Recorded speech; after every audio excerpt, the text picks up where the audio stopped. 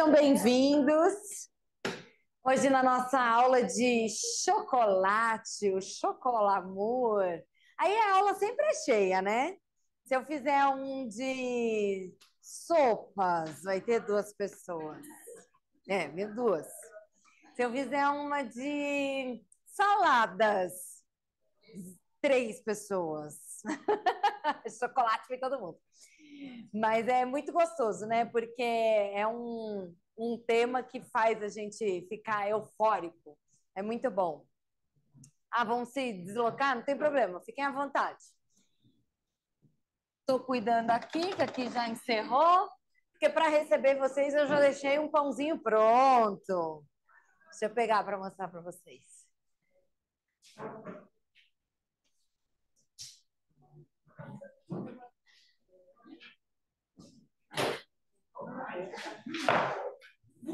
Olha o pãozinho que a gente vai fazer. Vai, vamos arrasar nessa aula hoje, hein? Deixa eu mostrar para o pessoal de casa, ó. Olha, gente, que a gente vai fazer. É o pão de chocolate. Pode já começar a degustação agora? Isso, vamos começar pelo fim. Não, não dizem que a vida é curta, então comece pela sobremesa, né? É assim. Bom, pessoal, boa noite oficialmente, sejam bem-vindos. Então, a gente vai ter um workshop especial de chocolates, por conta né, de ter essa proximidade com a Páscoa, mas a nossa ideia é trazer coisas diferentes do que o convencional, né, dos ovos de Páscoa. É, a gente fez já um workshop que, inclusive, ensinou a fazer ovos de Páscoa, é, acho que faz uns dois anos já, talvez. É, mas enfim, dá para a gente fazer isso usando a Thermomix, então é tranquilo, dá para fazer temperagem de chocolate na Thermomix. Só procurar a receita no CookDo, é, temperar chocolate, que aí vai ter todo o passo a passo de como fazer isso, sem sujar todo o universo da sua cozinha com o chocolate. A gente se suja de todo jeito, porque chocolate parece que ele atrai, né? Atrai a mão, atrai a bancada. Quando a gente vê, a gente já está todo sujo de chocolate mas muito menos do que se a gente tivesse que fazer a temperagem convencional e que muitas vezes as pessoas nem gostam, né? De, de ter esse trabalho, de fazer todo aquele processo, chegar na temperatura certa. Então, deixa que a Thermomix faz para a gente. Então, o pãozinho já está aí, né? Já tirei ele, a gente vai chegar nesse ponto, né? Para a gente fazer todo o processo, mas assim vocês já têm ele para degustar. É, só quero fazer aproveitar que, que a gente está aqui reunido para fa falar para vocês que vai ser lançada amanhã uma promoção, portanto, eles já anteciparam que eu podia contar hoje para vocês, que é do Cutter, que é o nosso fatiador e ralador da, na Thermomix. A gente utiliza, ele é um acessório que é vendido à parte, então a gente utiliza ele dentro da máquina, no lugar da tampa, e a gente consegue fazer o fatiado grosso e fino e o ralado grosso e fino, tá? É, tem essas funções na tela da máquina, então ele é bem prático, bem rápido de utilizar, como um ralador e um, um, um fatiador tradicional, só que muito rápido, porque a gente coloca aqui e ele já faz o processo em poucos minutos. Então, isso é bem interessante. É, diga, Luiz. Ah, tá. É, então, é um acessório que vale super a pena nessa praticidade. E uma vantagem que ele tem é que, uma vez que a gente faz o processo, tudo fica dentro desse copo. Então, você tira, não vai sujar o copo da máquina e você consegue continuar fazendo processos na sequência, tá? E ele, a partir de amanhã, mas se vocês quiserem, hoje já liberaram, né? Ele tá 799 em 10 vezes sem juros. Tá? Então, acho que vale a pena, porque ele ajuda muito, no, até para a gente muitas vezes deixar uma salada mais bonita. A gente não pode esquecer que a gente come com os olhos, né? Então, às vezes fazer um, um raladinho bem certinho, bem bonitinho, as próprias lâminas, né? Faz uma lâmina de abobrinha, faz de beterraba, frutas também, ele faz é, rodelinhas de banana. Então é interessante, depois, se vocês quiserem, a gente tem à disposição. Pronto. Cutter na aula de hoje a gente não vai usar. A gente usou na aula passada, se eu não estou enganada. Quem veio na aula passada? Eu ando com as... Época de Páscoa, minha memória já anda toda displicente. Não, eu, eu acho que a gente usou ele na, na aula passada. É, que a gente fez na aula passada, que eu tô com a memória curta? Ai, o pão de pizza, é verdade. É. Ah, gente, olha, essa aula tava boa também. Todas as aulas são boas, eu sou um pouco suspeita de falar, né? Mas todas as aulas são boas.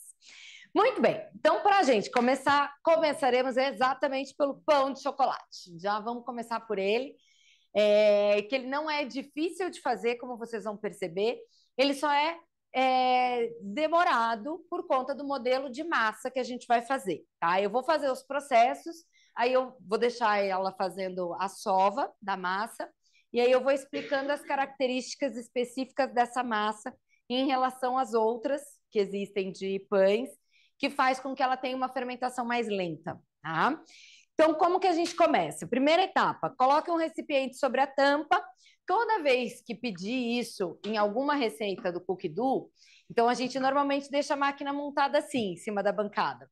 Então a gente tira o copinho e coloca um recipiente, né, qualquer, pode ser um recipiente maior, não tem problema, para fazer a pesagem. Quando a gente segue uma receita do Cookie Do, ela já vai estar tá com a balança ali. Ah, então ela não, eu não vou precisar selecionar a balança. Já aparece a balança. Caso eu não esteja, aí eu vou entrar na balança, então a gente vai lá na tela de funções, seleciona a balança, a balança vai aparecer já zerada, se por qualquer motivo não estiver zerada, vai apertar a teclinha tara e ela vai zerar. E aí você vai colocar o alimento que está sendo solicitado naquela, naquela etapa, pesar e reservar.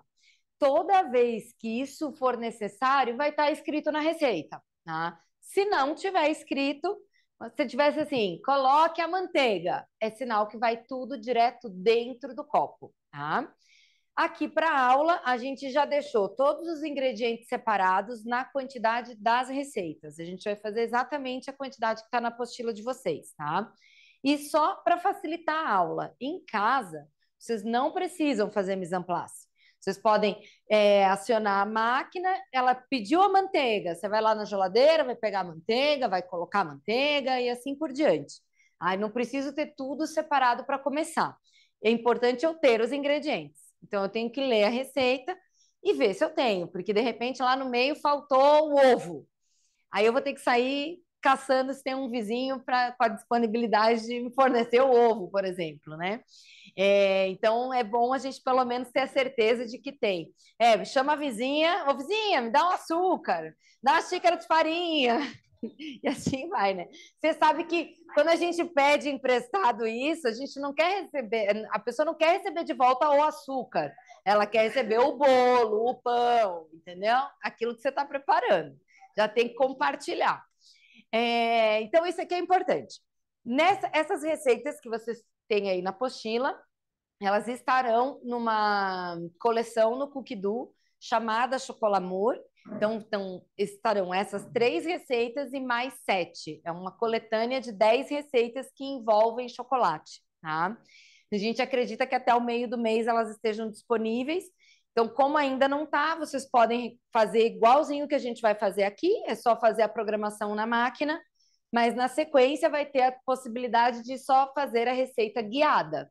Então, é só ir clicando lá no seguinte, seguinte, e obedecendo o que a máquina pede, tá? Então, reservamos a manteiga, que aqui a gente já tem as 80 gramas, a gente vai colocar no copo o leite, o fermento e o açúcar. Por que, que a gente vai fazer esse processo? A gente vai despertar o, o fermento, tá? Ele está liofilizado, é o fermento seco. Então, quando a gente trabalha com uma temperatura de 37 graus, que é o que a gente vai fazer aqui, a gente simplesmente está é, é, acordando ele. Quando o fermento está seco, é como se ele estivesse dormindo. Então, assim, com 37 graus, não mais do que isso, porque eu não quero eu não quero que esse fermento é, perca a ação dele. Tá? Então, a partir de 45 graus, a gente já começa a ter a desnaturação desse fermento, que é o que acontece, por exemplo, no forno. Ele fez a função da fermentação, ele liberou gás carbônico, cumpriu a sua função e no, no, no forno ele vai ser desnaturado. Ah, então a gente não come o fermento, a gente come o, o resultado da existência dele, tá?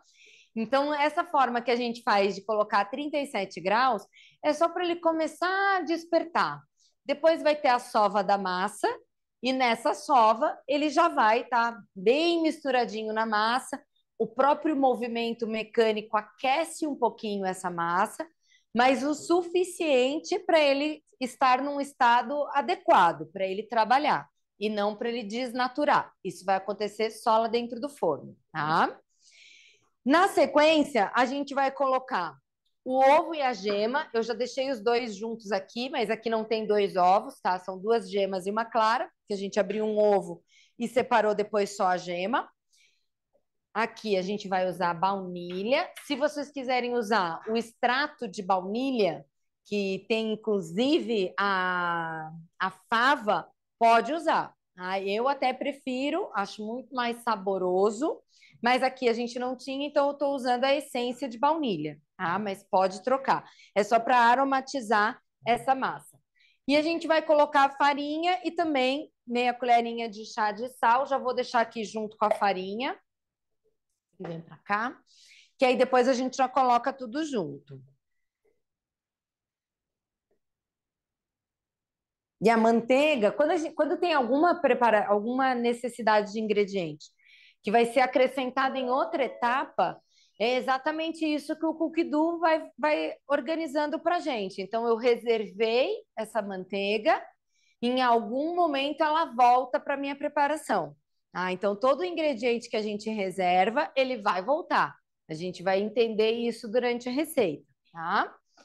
Então, aqui foi um leve aquecimento. Vou colocar, então, a gema junto com o ovo.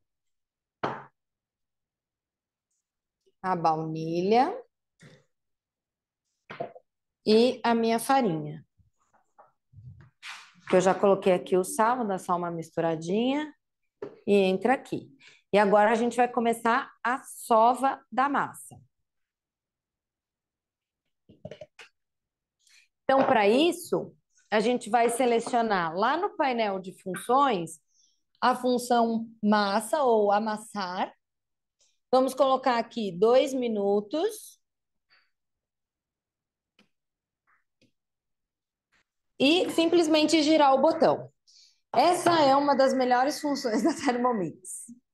Porque você não precisa ficar suando, nem gastando toda a musculatura para fazer a sova da massa. Tá? O que, que a sova é importante numa massa de pão? Quanto mais a gente trabalha essa massa, mais a gente desenvolve o glúten. O glúten é o que dá elasticidade, crescimento e umidade da massa.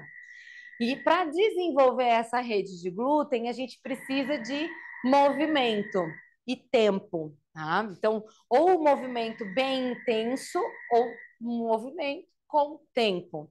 Então, se a gente fosse fazer essa massa na mão, a gente ia levar uma média dessa massa, por ser uma massa com ovos, com manteiga, que é o que vai entrar depois, a gente ia levar mais ou menos em torno de 15 minutos para conseguir chegar no estágio que a gente vai chegar em 7 sem colocar a mão, tá? Porque ela faz toda a força para a gente.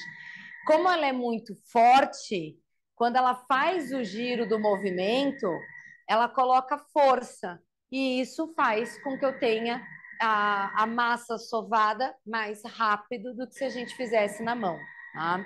Isso vale para todas as, as, as, receitas que tem no Cookidoo de pães. Tá? Cada pão, dependendo da quantidade de farinha, vai ter um pouco mais de sova, então é uma média de 3 a 4 minutos normalmente.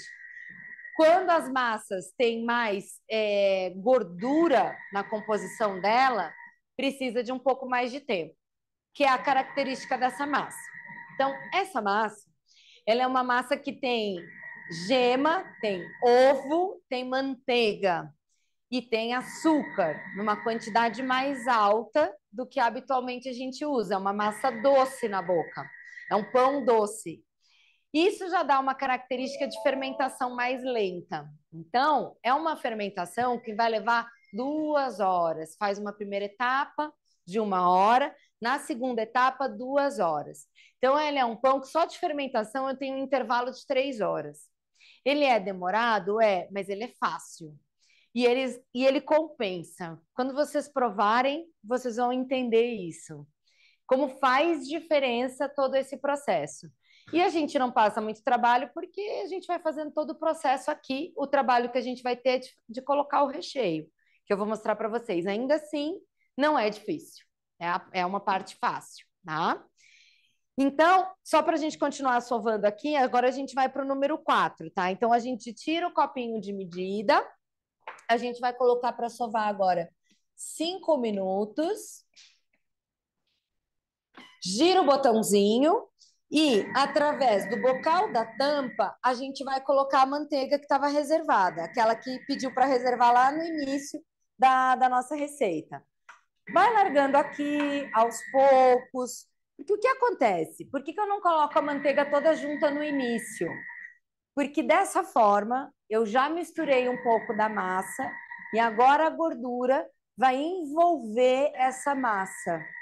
Isso vai dar um resultado de maciez maior. Ah, mas eu posso sovar tudo junto? Colocar, tipo, manteiga, todos os ingredientes e sovar sete minutos? Pode. Qual vai ser a diferença final? Que assim, sensivelmente, vai ficar mais macio. Ah, essa é uma técnica de pão brioche, por exemplo, que a gente faz essa mesma colocação de manteiga no final. Então, você tem um resultado melhor. É aquele pão que você faz em casa, sem passar trabalho, que a pessoa vai comer e vai dizer assim: não, não é possível, foi você que fez. Tem certeza que você não comprou na padaria X e tal, que faz, especializada? E você vai dizer assim: não, fui eu mesma que fiz. Passei horas a fio fazendo. E quem fez é Thermomix para você, né? Oi? Não, as pessoas não acreditam, né, quando a gente faz as coisas. É como servir esse pão, assim, eu vou desinformar ele daqui a pouquinho. A pessoa diz assim, não, não é possível, você comprou esse pão, né? Você não fez em casa. Vocês vão dizer, sim, eu fiz em casa. Fiz com a minha Thermomix. Vou deixar aqui que a gente vai usar para colocar a massa. Enquanto ela está sovando aí, eu vou fazer a, o recheio aqui. Tá? Então, eu vou agora seguir lá para o passo. Cadê? Acho que está na outra página. Seis? Ai, é verdade. Nossa, eu já estava lendo o final da receita, já não estou mais nem lendo direito. Lá no seis, tá? A gente vai colocar o chocolate. Vocês podem usar qualquer tipo de chocolate. Eu estou usando um chocolate 54% de cacau. Ah, é da Calibu, esse chocolate. Mas vocês podem usar o chocolate que, que, que quiserem. A gente vai só triturar um pouquinho ele, o objetivo não é ficar totalmente em pó, porque eu vou derreter ele na sequência. Então, eu estou fazendo.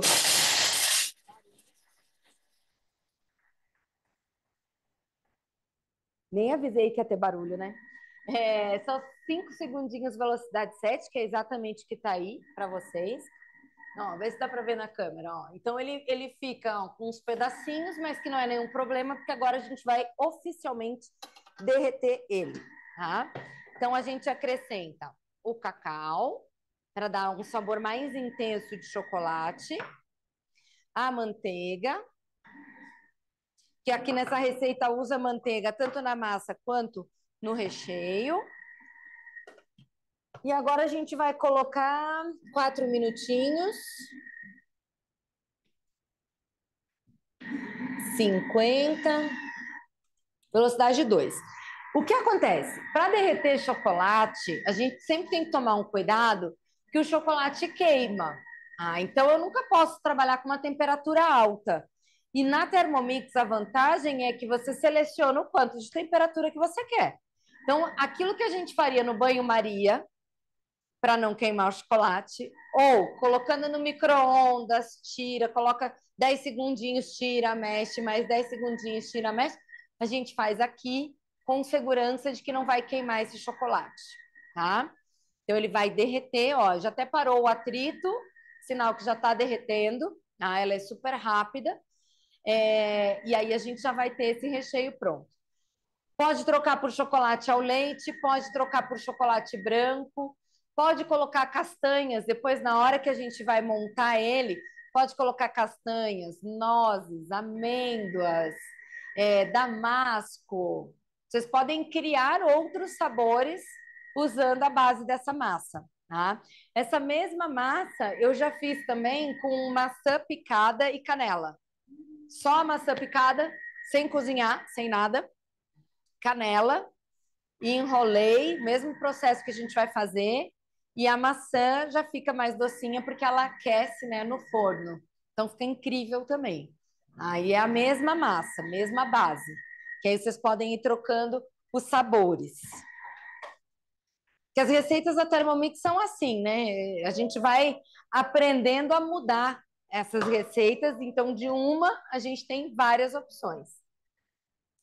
E assim, sem cansar, sem nada, a gente já tem a massinha pronta. Vou colocar isso aqui. Olha massa. Vou virar assim já. Ó. Imagina se a gente fosse fazer isso na mão, né? Como é fácil. Deixa eu mostrar para o pessoal que está em casa, olha. Aí vocês vão pensar assim, nossa, mas essa massa tá grude, agora lascou, tira o cômodo aqui de dentro. É mais simples do que vocês pensam. Vira o copo de cabeça para baixo em cima da bancada e gira o pino da lâmina. Isso não tem na receita do cookie do. Isso é dica extra. Vocês acreditam que hoje na turma da tarde veio um casal, eles trabalham com a Thermomix é, na produção deles, eles têm uma produção de pães há 10 anos. Eles têm a TM31 e há um mês compraram a TM6. E eles produzem massa de pães usando a máquina. Então, eles usam muito, várias vezes ao dia. Nunca quebrou. Só que hoje, na aula, foi que eles viram essa técnica. Eles não queriam acreditar. Há 10 anos, eles puxam, a, já estragaram a espátula porque prende na lâmina, já cortaram o dedo porque pega o dedo na lâmina, porque eles não sabiam isso. Eu está vendo? Olha aí, demorou 10 anos para vocês descobrirem essa dica. Ó, a massa cai. Aí a gente olha assim, putz, agora sim, agora eu vou puxar o que está lá dentro. Só que quando você vai puxar, você pode se machucar, a lâmina é muito afiada. O que, que você faz? Volta com ela para a base do copo, para a base da máquina, desculpa.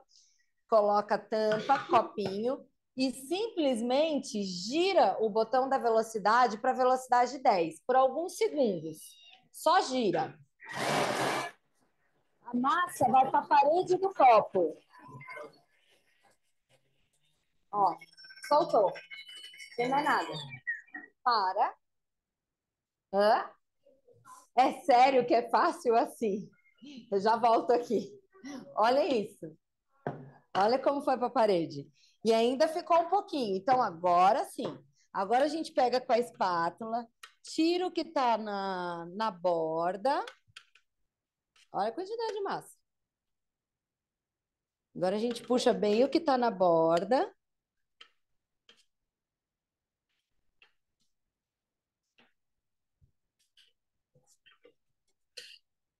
O que ainda está grudado lá na lâmina, eu vou colocar de novo, que tudo depende de como a lâmina, como a massa grudou na lâmina. Precisar de novo, coloca de novo uns segundinhos, não importa o tempo. Importa ela ter uns segundos para espalhar e jogar para a parede do copo. Para parar uma programação, ou gira o botão até o zero, ou aperta o botão. Quando a gente aperta o botão, ela para. Olha, olha quanta massa que ainda ia ficar. E assim, com essa facilidade, a gente vai tirando.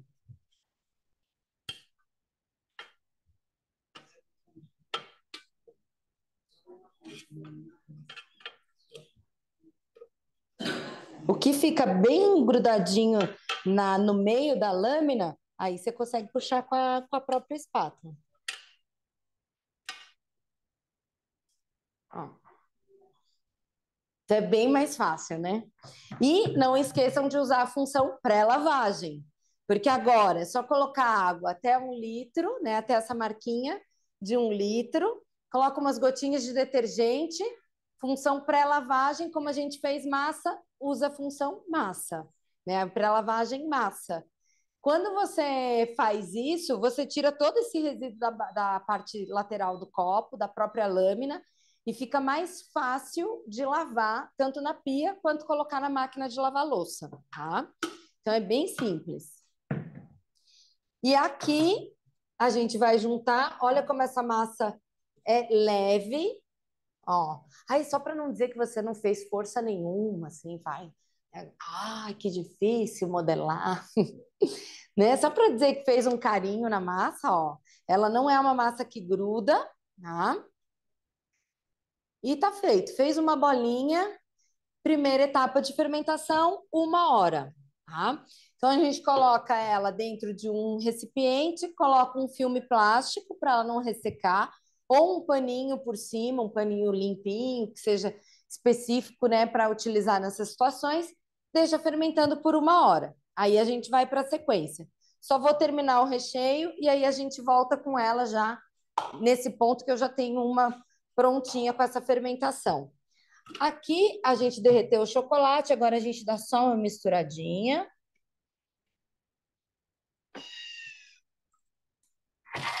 é só para tudo que está na parede do copo, ficar tudo é, certinho, né, envolvido.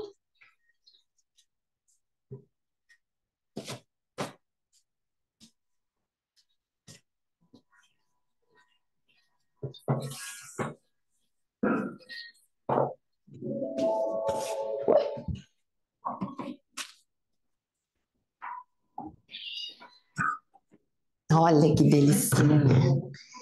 Aí está o motivo pelo qual vocês vieram na aula, o chocolate.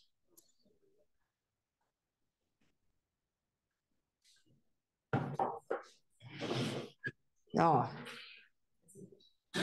dá até para fazer uma hidratação de pele, né? Da vontade, assim.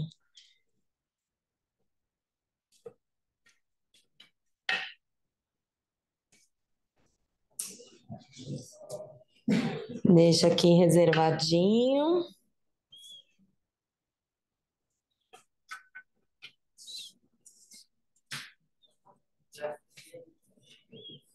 Pronto. Opa! Aí, eu tô dizendo, não adianta, né? Chocolate a gente sempre se emociona e vai sujando. Mesmo sujando menos, né? Vou mostrar a textura para vocês.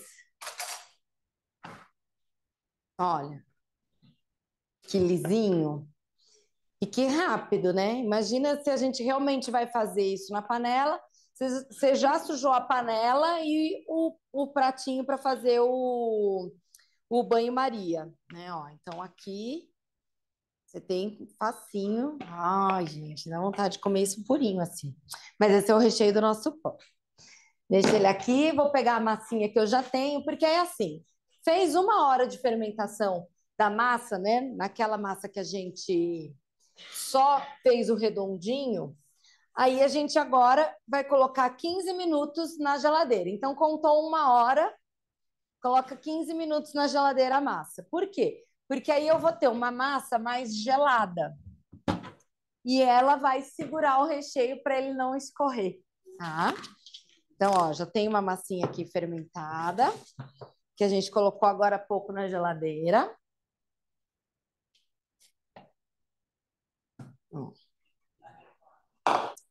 E agora é que a gente vai usar o rolo, ou o famoso amansa marido. Não brigue comigo, né? O único homem da sala, a gente já tá fazendo bullying, né? Sabe? Ah, não, desculpa, tem dois. Hoje, hoje à tarde tinha dois também. E eu azucrinando eles com a mansa marido, assim, ó. E ainda um deles estava de casal, que é esse que descobriu que nunca tinha feito o esquema da, da, de girar a lâmina, né? Aí ela olhou para ele e disse assim: Eu vou mesmo pegar o rolo e dar na sua cabeça, que você nunca descobriu isso antes. Ó, aí a gente vai amassar e vai abrir ela com o rolo, porque o objetivo, ó, ela não gruda, tá? O objetivo é agora fazer ela ficar é, aberta, mais ou menos como um retângulo, não precisa medir, não precisa usar a régua, mas eu tenho que ter uma proporção, porque ela vai ficar fininha.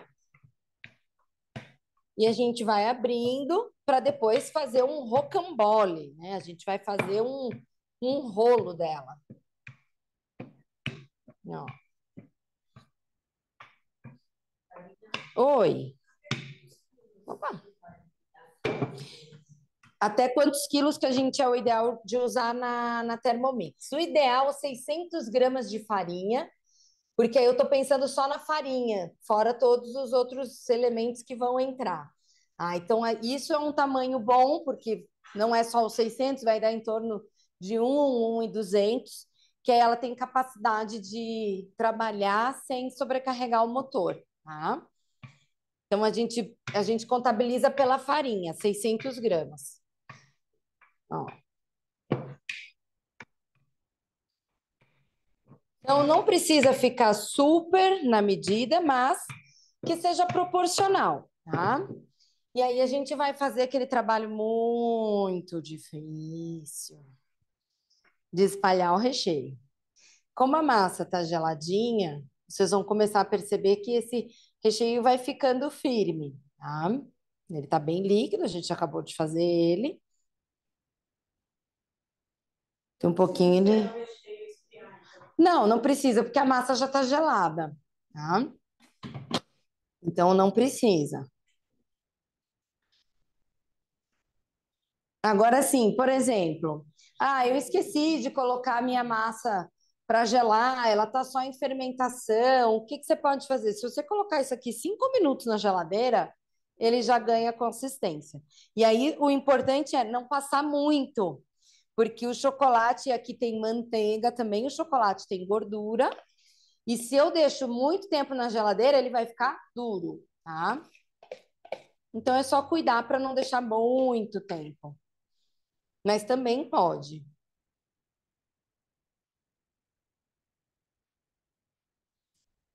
Trabalho difícil esse, hein?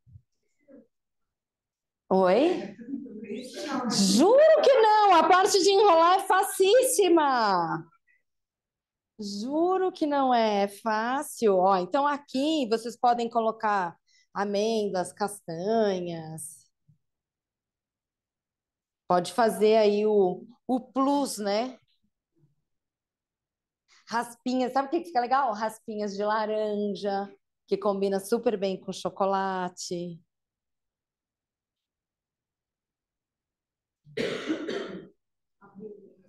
Avelã. Ah, e sabe o que dá para colocar aqui também? Creme de avelã. Já fizeram creme de avelã na Thermomix? É muito fácil de fazer. E aí você tem o creme de avelã natural, sem gordura hidrogenada. Que o problema muitas vezes dos produtos que a gente compra pronto é que tipo de ingrediente tem ali dentro, né? E muitas vezes o produto é industrializado, porque eu preciso ter 180 dias de validade na gôndola do supermercado. Ah, então, isso tem um produto ali dentro que vai segurar, mas não é só o conservante, alguns ingredientes ajudam nesse processo.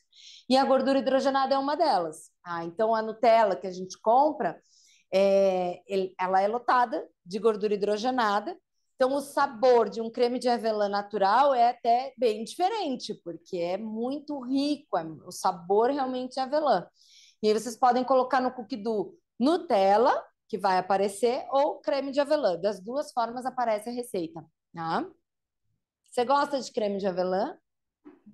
De Nutella? Qual o seu nome? A Helena gosta, viu? Então imagina, faz o creme de avelã é, na Thermomix e aí depois recheia e faz um pão de Nutella. Delícia.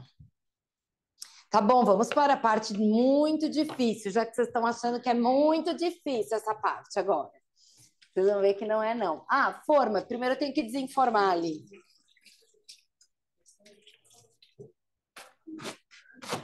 Ah, se sair para tudo quanto é lado, a gente sai lambendo a, a base depois. Deixa eu soltar ele. Peraí.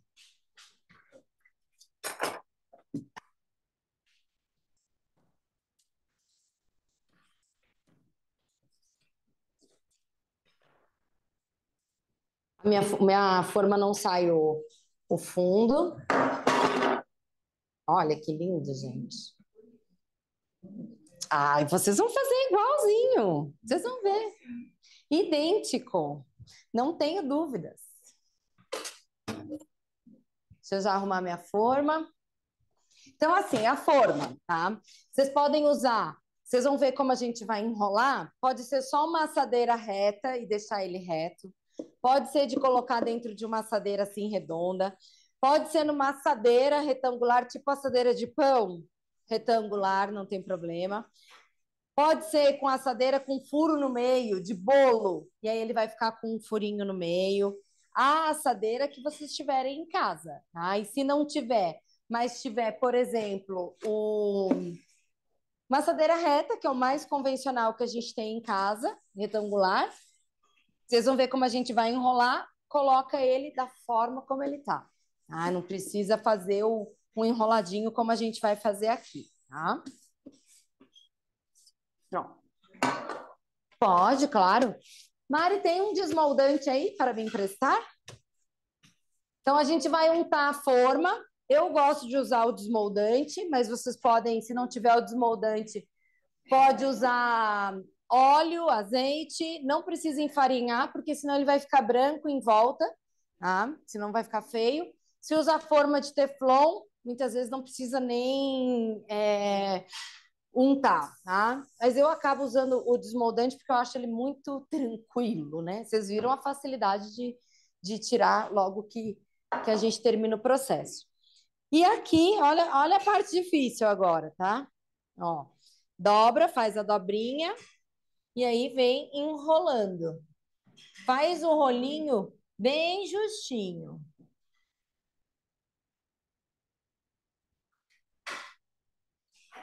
Qual que é o segredo? Você não está empurrando o recheio, tá? Você está mantendo o recheio. Então, você está sendo leve na hora de virar, tá? Mas ele não gruda. Ó.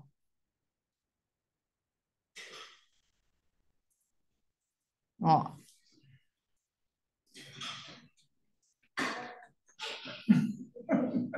Pronto, era só porque eu queria sujar um pouco, né? Senão não ia ter graça. E aqui eu posso deixar ele assim, desse jeitinho que ele tá, mas eu acho mais bonito a gente fazer é, a abertura dele, porque aí a gente consegue mostrar o chocolate por dentro também, tá? Para isso, a gente vai usar uma faca. Vocês não vão cortar até o final, deixa ele presinho aqui em cima e passa a faca bem no meio, ó. Aí você vai dizer, ah, eu fiz tudo tão bonitinho, agora vou estragar tudo. Não vai, não. Vocês vão fazer um pão profissional. Corta até embaixo. Minha faca é ruim, por isso que eu tô vendo assim se cortou até embaixo. Tá mal afiada minha faca. Pronto. Aí o que, que eu vou fazer? Vou abrir e Cada uma das partes eu vou trançando. Ó.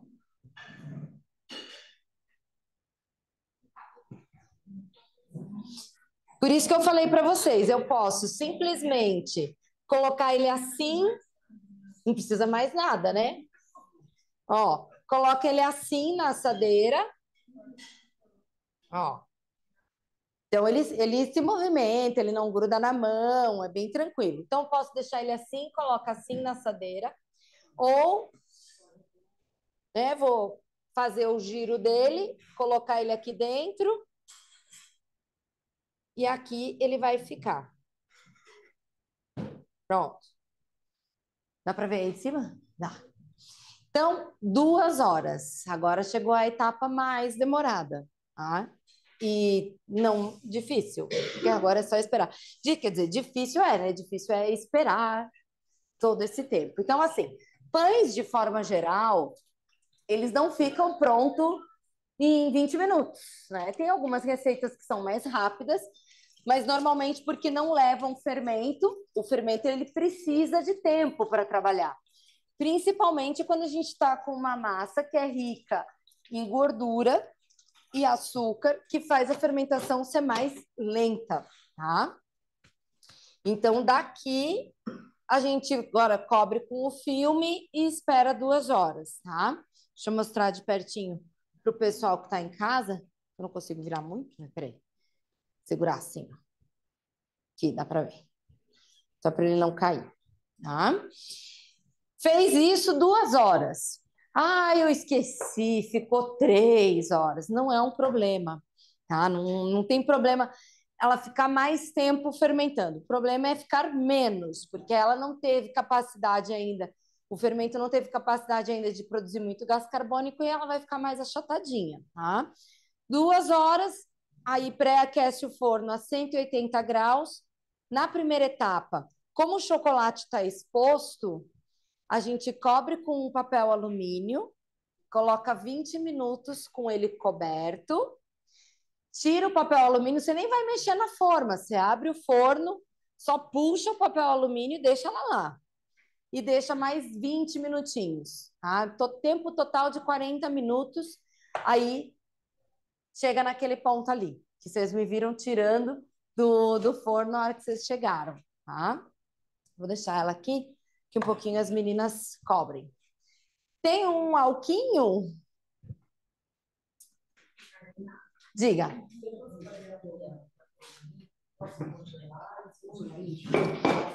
Ó, oh, se for, teve hoje à tarde também teve essa pergunta, né? Por exemplo, se eu quero já deixar tudo organizado amanhã para poder por, servir ou na sexta ou no domingo, o que, que é o ideal, tá? Porque naturalmente a gente está trabalhando com um pão que não tem nenhum tipo de químico para segurar a umidade, para segurar. Ele já é mais úmido, tá? Por conta da característica de massa mas ainda assim ele vai ressecando com o passar dos dias. Então, o que, que é o ideal? Faz até esse ponto que a gente já deixou modelado, coloca o filme e coloca na geladeira. Saiu daqui, geladeira. No dia que for assar, então, ah, eu quero assar no domingo. É que assim, aí domingo, até domingo a gente tem quatro dias. O ideal seria fazer isso para no máximo dois dias de geladeira. Então, tipo, faz na sexta, tá? É... Aí, no dia que for assar, você tira da geladeira e ele vai precisar de quatro horas para aclimatar, porque ele não vai fermentar antes de ir para a geladeira. Na geladeira, ele vai fermentar um pouquinho, porque existe uma baixa fermentação em temperatura mais baixa, mas é bem lenta e bem pouca, mas ela existe. Então, ele, isso vai acontecer nesses dois dias que ele vai ficar na geladeira, mas não é o suficiente. Então, tira quatro horas antes de assar. Então, ele já vai estar tá pronto. Tirou da geladeira, deixa em cima da bancada, de preferência num lugar onde não pegue vento. É, sei lá, se vocês estão numa cozinha que passa muito vento, que é mais geladinha, coloca dentro do micro-ondas, sem ligar, sem nada. É só para não pegar vento. É só esse o objetivo, tá? que daí consegue fazer esse processo de ele aclimatar, porque primeiro ele vai ter que perder a temperatura que ele estava na geladeira, e aí depois ele vai fermentar. Por isso que precisa mais ou menos umas quatro horas, tá? Mas dá para fazer. É possível de fazer, tá? E aí não deixa ele fermentar antes, já fermenta, só vai fermentar uma vez que é o depois. Muito bem, difícil? Não foi, né? Ah, foi tranquila essa. Tá bom, vamos para uma muito, muito, muito difícil agora. Prova de Masterchef agora, entendeu? Agora é especial Masterchef. Que é o soufflé. Soufflé é um terror, né? Deixa o Jacan chegar perto de mim eu fazendo soufflé. Não, chega não. Chega não que eu morro. Muito bem, vamos para o soufflé, que é lá na página 5.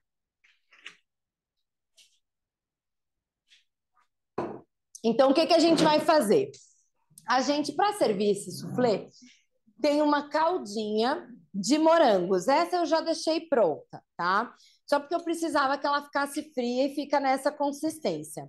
Essa receita de vocês, da calda, são 150 gramas de morango, 40 de água e 20 de açúcar, tá ali no passo 1, tá? Da nossa receita. Cozinha 7 minutos a 120 graus, velocidade 1. E depois bate um pouquinho só para tirar os pedacinhos. Eu não gosto de bater muito, tá? Então eu gosto de que tenha ainda um pouco de pedaços. Se não gostar, se quiser ela bem lisinha, ao invés de fazer na velocidade 7, faz na velocidade 10. 10 segundos na velocidade 10, que aí vai ficar tudo lisinho, tá? É, e aqui, para vocês terem uma ideia, eu tenho o dobro da quantidade de vocês, da receita, tá? Eu usei 300 de morango, 80 de água, 40 de açúcar. Aí eu só fiz o dobro da receita. E usei o mesmo tempo, eu não precisei fazer alteração no tempo, tá? Continuei com o mesmo tempo e deu tudo certo. Se quiser usar fruta congelada, pode. Nesse caso, a fruta tem que estar tá descongelada, então tira ela do freezer, deixa ela descongelar e depois coloca para fazer a receita. Não adianta entrar com ela congelada, porque senão os sete minutos não vai dar tempo. E aí não coloca água, porque a própria fruta vai soltar água. Né? Então, esses 40 gramas de água não precisa colocar. Daí coloca só a fruta e o açúcar, tá? Que daí já vai dar certinho a caldinha de vocês. Pode usar frutas vermelhas. Aqui é o morango, mas enfim, poderia ser outra, tá? Que eu acho que combina bem com o chocolate branco. Então, acho que, que valeu essa combinação, tá? Para começar, então, efetivamente, o nosso é, soufflé, a gente vai fazer um açúcar pulverizado, que a gente sempre usa aqui o açúcar demerara. O açúcar demerara, demerara ele é considerado mais saudável porque ele não tem é... o açúcar refinado ele passa por muitos processos de refinamento e tem uma adição de algumas substâncias para deixar bem branquinho e bem soltinho. Ah, isso é, a gente nem sabe. A gente olha lá no rótulo, é açúcar, é açúcar. Mas isso acontece com a indústria.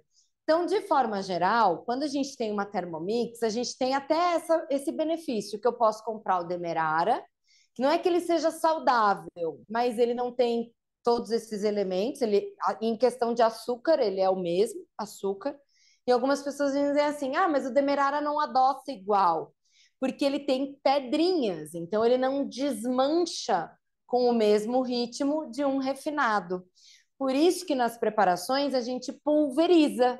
Então a gente torna ele um açúcar mais fininho, tá? Então a gente vai começar com ele a gente coloca dentro do copo e aí vai pulverizar 15 segundinhos na velocidade 10. eu não tinha, eu não tinha marcado antes, né? Antes eu estava no, no do, da massa. Pronto, agora vai. Não era o meu número que eu coloquei lá. Foi.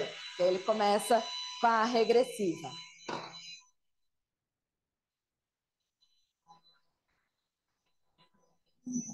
Ó a mágica. Parece que a gente está fazendo bruxaria, né? Saindo as fumacinhas.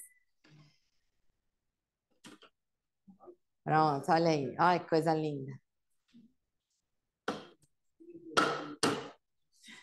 Vamos derrubar o açúcar que está aqui. E aí a gente tira esse açúcar do copo. Então, ó, como ele fica bem pozinho, tá? Inclusive, para facilitar, vocês podem. Opa, fazendo sujeira. Vocês podem já fazer isso com uma quantidade de açúcar. Faz de 200 em 200 no máximo, 200 gramas no máximo, porque aí você consegue um melhor resultado. São só 15 segundos, é super rápido. Então, você pode pegar aquele quilo do demerara que você comprou, já pulveriza, já deixa no recipiente pulverizado. Que aí toda vez que você precisar para variadas preparações, você vai usar na mesma quantidade que usaria de um refinado. Só que você já tem ele numa. que você já tem o demerara que está pulverizado, tá? Então, a gente tira, não tem problema se ficar um pouco de resíduo no copo, que a gente vai seguir na receita, tá? Quando uma receita exigir que o copo esteja limpo, esteja seco, isso vai falar que é o caso aqui, né? No passo número dois, ele começa dizendo isso, no copo limpo e seco, que é esse processo que a gente fez agora. Por quê? Porque antes eu fiz a geleia, né? Fiz essa calda. Então eu preciso lavar, secar o copo para depois utilizar ele fazendo essa parte do açúcar. Então, quando precisa, a receita pede. Se porventura não pedisse, é sinal que eu posso seguir do jeito que está o copo. Tá? Então, se sobrou às vezes algum resíduo da etapa anterior, é porque aquele resíduo não vai interferir na sequência, tá? Senão eles vão pedir para fazer essa, esse processo. Agora a gente vai pegar 20 gramas desse açúcar que eu pulverizei. Então, vou selecionar aqui a minha balança.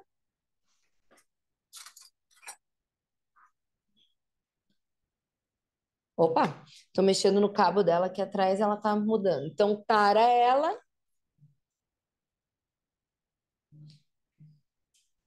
Vinte gramas. Pronto, o restante deixa aqui.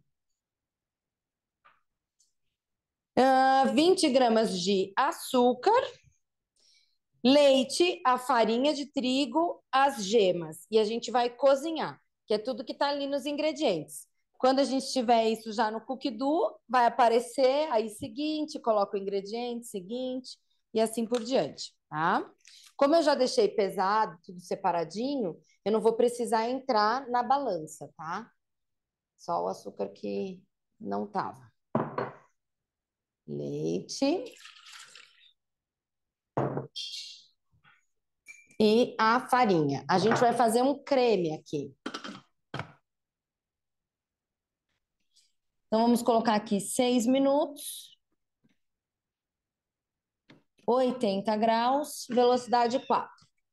Quando a gente trabalha com gema, a gente só pode aquecer até 80 graus quando a gente faz um creme porque senão a gente tem um omelete.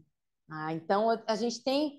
É, quando a gente está dentro de uma receita guiada, ela já vai selecionar isso para a gente. A gente não precisa se preocupar se, ah, mas será que é, eu tenho que colocar 80, 90, tenho que colocar 100 graus? Na receita guiada, isso vem pronto. É só a gente seguir efetivamente aquele passo a passo, tá? Não é um creme de baunilha, mas vocês vão ver que a aparência fica similar. Tá? Fica um creme, que é onde a gente vai acrescentar o chocolate. Vou usar aqui o chocolate branco, tá? Eu estou usando um, um, chocolate que também é da Calibu, em pastilhas. Pode ser o chocolate da preferência de cada um, inclusive chocolate preto, tá? Não, não tem problema, pode ser substituto, tá? Dúvidas até aqui? Tá fácil, né? Dá para fazer todas as receitinhas para Páscoa. Tá bem facinho. Quem já fez claro em neve na Thermomix?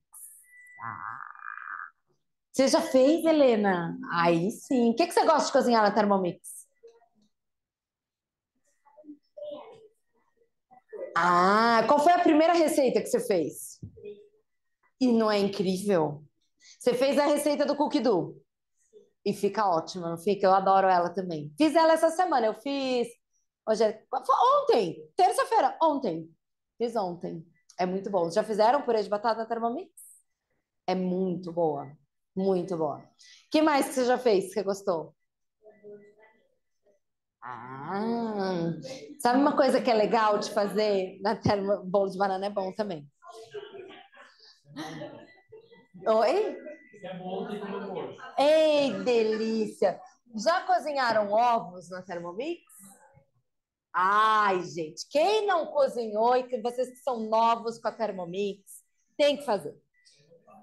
Quem, quem vem sempre nas aulas, as meninas sabem que eu sou alucinada por essa função. Na Thermomix tem uma função, aqui na tela de funções, é, cozinhar ovos. Acontece que essa função é, é muito incrível. Quando ela apareceu a primeira vez, eu pensei assim, gente, mas vai virar uma sopa, uma desgraça qualquer. Por quê? Fala, Maricota. Tava dando creminho? É... Porque os ovos, quando você vai ler a função, ai, ah, detalhe, até para quem está começando a mexer na máquina, está ainda aprendendo sobre as funções, todas as funções elas têm uma letrinha I aqui na parte de cima na tela da máquina. Quando clica nessa letrinha, abre a descrição da função. Ah, então, que, por exemplo, na, na aula que a gente tem de entrega, que ensina a usar a máquina, é um monte de coisa que a gente fala nessa primeira aula, né? Você fica até tonto, você diz assim, meu Deus, eu nunca vou saber tudo isso. Mas é, é por quê? Porque a gente já está acostumado, então a gente tem que te contar como é que funciona. Mas não tem problema, depois você vai esquecer, mas aí você entra lá na letrinha aí, que vai ter o descritivo da função, tá? Quando chegou essa função, e aí eu olhei na função diz assim: coloque os ovos de dois a seis ovos dentro do copo da Thermomix. Eu olhei e disse, gente, isso vai virar uma sopa, vai quebrar a lâmina, vai quebrar a casca do ovo, não tem protetor, não tem nada. Eu disse, os engenheiros ficaram doidos, completamente doidos, isso não existe. Que em todas as funções da Thermomix a lâmina mexe. Mas ok, eu disse, eu tenho que pagar para ver, né? Se ele está mandando fazer, vamos fazer do jeito que ele está mandando. Coloquei os ovos, aí manda colocar água, a água entra depois, porque você acrescenta água até a marca de um litro. Fiz isso, e aí você seleciona na tela da máquina como você quer o resultado do ovo. Você quer com a gema mole, é, meio mole, médio, médio duro ou duro e ela calcula o tempo. Você não precisa ficar colocando lá o cronômetro, o timer. Aí eu selecionei, gente, não juro, essa função é incrível. Aí eu selecionei meio mole, por quê? Eu gosto de comer ovo na casquinha. Eu comia assim quando eu era criança, né? Guardanapinho, a casquinha e comia assim o ovo. Você vamos ver o que vai, que vamos ver essa sopa desgraça que vai dar, né? Para minha surpresa, quando eu girei o botão, essa função não gira a lâmina. Ela funciona bonitinha, paradinha, igual uma panela. Só que ali paradinha, você fica esperando. O, né, essa função dá nove minutos para cozinhar o ovo, enquanto isso você vai faz outras coisas, tipo no café da manhã, né? Já passa o café, já separa ali o pãozinho, o pão já foi na torradeira e tal, tal, tal. Ela apitou, você abre o ovo, tá com a gema exatamente do jeito que você pediu. Então, desde o primeiro dia, eu sou apaixonada por essa função. Vocês vão amar. Helena, amanhã no café da manhã, hein? Tem escola de manhã cedinho? Que horas começa a escola? Dá tempo de fazer, né? Ah, está super tempo. Então, amanhã você prepara os ovos, papai prepara o pão, entendeu? Deixa para ele a parte assim, porque você é a parte tecnológica, entendeu? Você é a tecnologia. Não, juro, essa função é incrível, eu amo ela. Sou alucinada na função Office. Ah, influencia. Tanto que lá nas, nas dicas eles te falam assim, de 53 a 63 gramas. Aí você vai dizer assim, mas que desgraça, como que eu vou saber qual é o tamanho do meu ovo, né? Eu comprei, como é que eu sei? Aí a gente coloca a balança, coloca aí a balança, você pega o ovo que você tem lá na sua geladeira, vou pegar um aqui. E aí você pesa, que aí você vai descobrir quanto ele tem. Deixa eu tarar. Larga ele aqui em cima. Opa, fica parado aí, meu amigo. Ó, 58, então ele tá na média. Entre 53 e 63 é o que tem que usar, tá? e ele tem que estar tá gelado. Tem que estar tá gelado. Porque assim, eles partem da padronização do que o que sai da geladeira vai dar no tempo certo. E dá. Impressionante. Os engenheiros são. Eu queria uma hora sentar com esses engenheiros. De onde eles tiram essas ideias? A gente está pensando assim: qual vai ser a próxima função que eles vão criar? Eu estou esperando uma Alexa. Tipo, Thermomix, se liga, sei lá, programação massa. Só de a gente falar, sabe? Sem a gente ter que ficar selecionando. Estou esperando essa. Mas não sei, né, se vai ter. Tá, fizemos o creminho. Chocolate vai entrar agora. Não, eles são muito criativos, porque quando saem umas funções, eu digo, gente, mas como eles pensaram nisso? Mas eles pensam. Agora são dois minutos? Não, um minutinho, porque é só para derreter o chocolate. sem, velo... sem temperatura, porque o creme está quente. Agora eu só vou misturar. Velocidade 4. Que é só para misturar. E aí a gente vai tirar ele daí de dentro.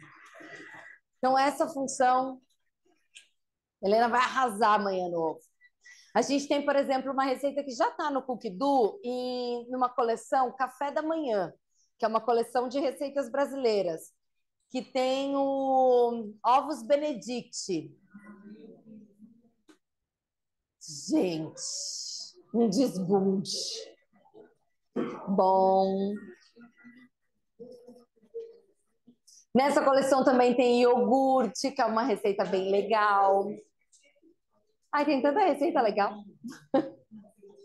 Faz tempo que vocês têm a máquina? Quatro vezes. Estão usando bastante? As mesmas receitas. Não está variando muito. Então, a função panela de arroz, eu acho ela meio. Hum, sabe? Já testei. O que acontece? Ela é uma função que você pode fazer o arroz direto no copo, ela mexe no início, aí depois ela para. A proporção que eles indicam é igual como se fosse de uma panela, né? Então é para equivalente de uma xícara de arroz, duas de água. Só que ela é pré-programada em 29 minutos. Você não consegue mudar esse tempo. E para arroz branco, passa. Eu acho que ele fica empapado né? Ele não é um resultado ótimo, assim. Agora, por exemplo, para fazer arroz integral, ele dá mais certo. Porque o arroz integral é mais é, seco, ele demora mais para se hidratar. Então, ele chega no ponto. E o que, que você pode fazer? Você faz um refogado, você pode fazer um alho, uma cebola, faz um refogado, e aí depois vai utilizar essa função. Então, assim, é, eu acho que os grãos na Europa deve dar certo, porque aqui eu também e vários clientes também que não curtem. Oi? Foi, foi estagiário, não foi engenheiro. É, então, assim, como eu gosto de fazer arroz, tá? Que eu acho é bem mais rápido, inclusive, são nove minutos a menos. Que é fazendo a receita clássica. Até antes de ter essa função, já existia essa, essa receita no Cookdo que chama arroz branco. Ah, então você pode seguir ela no Cookdo, mas nada mais é. Oi? É o vapor. É o que, é o que cozinha. É, não tem aquele, não tem o mesmo resultado final do refogado. O que, que você pode fazer? Você faz o refogado e depois você coloca água. Aí o refogado vai estar tá na água, porque ele não cozinha só no vapor ele, o, o cestinho ele fica mais ou menos com um dedo, dá até um pouco mais do que um dedo batendo no líquido. E como a gente usa a velocidade 4, ele vai girando e ele vai passando pelo arroz. Então ele tem contato. Só na etapa final é que aí já evaporou bastante água, que ele perde o contato e passa a ser a finalização no vapor. Mas o início do cozimento fica em contato com a água. Então o arroz fica saboroso e ele fica soltinho. E aí dentro do cesto você consegue colocar de 50 gramas até 350 gramas de arroz. E aí você pode variar, você não precisa colocar uma medida certa. Você só não pode passar dos 350, porque senão ele, ele infla na tampa e ele não vai cozinhar direito, porque aí tem muita quantidade. Mas é a melhor forma, e aí é 20 minutos. Eu tenho colocado 18, porque pra, até para o 20 eu já achava que estava ficando um pouco demais, assim, sabe? Então eu já coloco até 18. Eu, eu sigo no Cookdo, mas eu mudo o tempo para 18 minutos. Tenta, porque eu acho que vai dar um resultado que você vai gostar. Ó, creminho de chocolate branco. Feito. Agora a gente vai bater as claras em neve. Deixa eu já ligar o forno.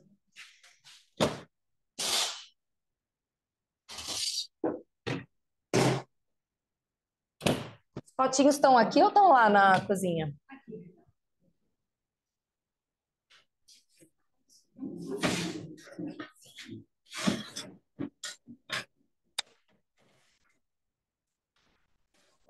Aqui.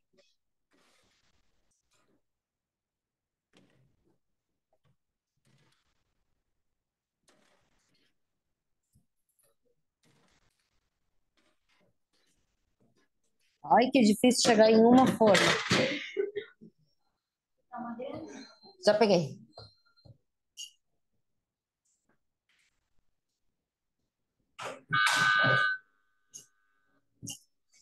Eu vou usar esse forno que é grande só por conta do tamanho da forma que a gente vai colocar todos os suflês juntos, mas a gente já testou ele, já fez várias vezes ele em forno doméstico, tá? O importante é estar com 180 graus e a gente faz a simulação nesse forno igual que fosse desse. A gente não usa todo o balagandã de funções que ele tem, tá?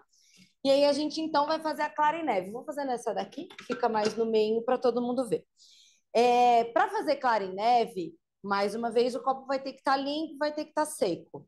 E aí a gente utiliza a borboleta, que é esse acessório. Essa é, borboleta, ela faz a função de batedeira. Tá? Então, a gente vai colocar ela em cima da lâmina, bem no meio, ela tem um buraquinho aqui embaixo, ela encaixa em cima do pino da lâmina, tá? E aí a gente dá uma leve viradinha no sentido horário, ó. Dá para ver que ela mexe, né? Então a gente vira ela para o sentido horário e ela vai parar. Isso não quer dizer que ela fica presa eternamente, porque se eu puxar, ela sai, tá? Por isso que a gente trabalha com ela no máximo até velocidade 4. E isso vem escrito nela. Porque pela velocidade, se eu trabalhar, por exemplo, 4,5 ou 5, ela vai se soltar e a lâmina vai pegar ela e vai quebrar. Nada, ela quebra. Ah, por isso que a gente trabalha no máximo até velocidade 4. E sempre que uma receita pedir para utilizar a borboleta, nunca vai falar para colocar numa velocidade maior. Tá? Isso não vai acontecer. Tá? Então, a gente coloca ela aqui, né? deixa ela aqui, vai colocar as claras. Eu tenho aqui quatro claras. De preferência, sempre em temperatura ambiente, porque assim ela vai bater melhor. E a gente vai programar dois minutos, velocidade 3,5.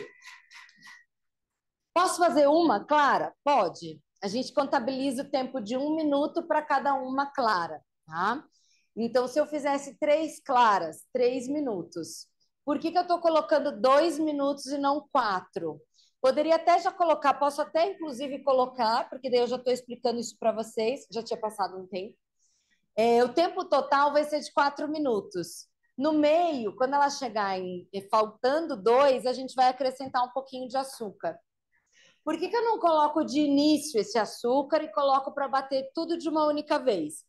Que primeiro eu preciso deixar ela aerar e aí depois eu coloco esse açúcar que senão ela demora mais tempo para aerar. Ah, então, dessa forma, a gente deixa ela já ganhar uma estabilidade. Eu vou deixar aberto que vocês conseguem ver. Não dá para ver muito bem, né? Mas ela vai formando, né? Ela já está formando essa neve. E aí a gente depois coloca o açúcar. E é só uma colher de açúcar, que vai ajudar a dar mais estabilidade nessa clara que a gente vai colocar no nosso creme de chocolate branco, tá? Feito isso, a gente vai misturar as claras no creme, né? E nós vamos colocar esse soufflé nos potinhos para ir no forno. Aí a gente usa os ramecãs, que são esses potinhos que são mais retos, tá? Pode ser do tamanho que vocês quiserem. Claro que quanto maior o ramecã, mais tempo eu vou ter que deixar de forno. Ah, então aí eu vou ter que ir administrando um pouco isso. Para esse tamanho, uma porção individual, em torno de 12 minutos, 10, 12 minutinhos. Vocês vão ver como ele sai do forno. E soufflé não espera a gente. É a gente que espera o soufflé. Tá? Porque senão ele cai. Tá? Então é normal. Ele é uma, uma sobremesa que ela é leve, ela é aerada e ela não tem aquela firmeza de um bolo ah, então, ela fica inflada por conta das claras, por conta da ação de calor que a gente tem dentro do forno, vai fazer ele ficar né, inflado e bonito, mas se passar muito tempo, ele puxa. Ah, então, nesse caso, o que, que a gente pode fazer para facilitar? Posso deixar o creme base pronto, e aí, na hora que eu for finalizar, então, por exemplo, ah, deixa de um dia para o outro. Na geladeira ele vai ficar duro. Então eu tenho que me lembrar de tirar antes, tipo uma hora, duas horas antes. Deixa ele aclimatar a temperatura, mexe com a, com a espátula, com a colher, que ele vai ficar molinho. Aí você bate as claras. Deixa eu ver se já tá na minha hora, já tá. Ó, eu vou colocar uma colherinha aqui. Pronto. Mexe com, com a própria espátula, que ele já vai ficar molinho. Bate as claras e aí mistura. E aí já vai fazer a finalização nos potinhos, tá? Essa sobremesa acaba sendo mais delicada. Não dá para a gente deixar pronto de um dia para o outro ela inteira. Que se eu colocar as claras aqui no creme e guardar, amanhã já não tenho mais a força da clara. Ah, elas acabam se perdendo. Untei os ramecãs com manteiga, peguei um pouquinho do açúcar pulverizado, coloquei e aí você tira o excesso, só para deixar grudado o que o que ficou da manteiga e para ajudar a subir. Então, tenho aqui os potinhos. Ah, claro.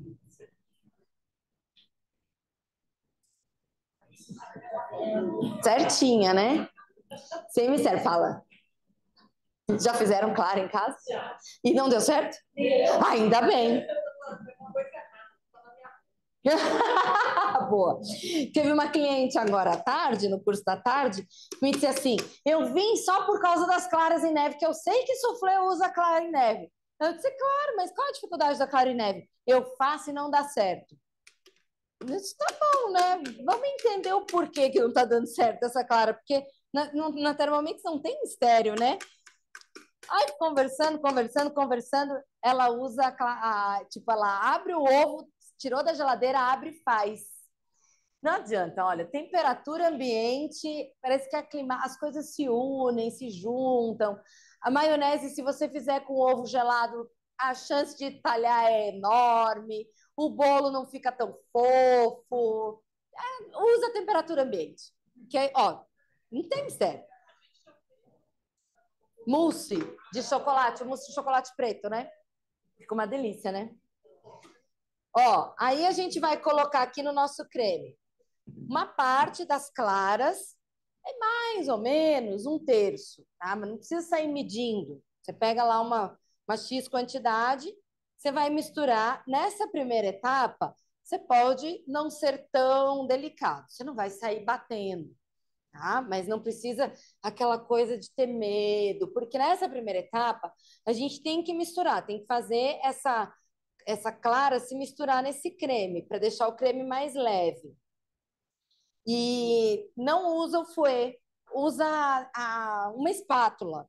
Porque o que acontece com o fouet, dá para fazer com ele? Dá. Só que aí a pessoa se empolga batendo, e quanto mais a gente bate, a gente vai arrebentando as bolinhas de ar que a Clara está fazendo, tá? Então é mais por esse motivo. Tem mais chance de dar errado. Agora vamos colocar mais um pouco. Vai pegando do que está lá no fundo, trazendo para cima. Dá para ver aí pelo vídeo, gente? Que o nosso pote de vidro quebrou. Vou ter que comprar outro.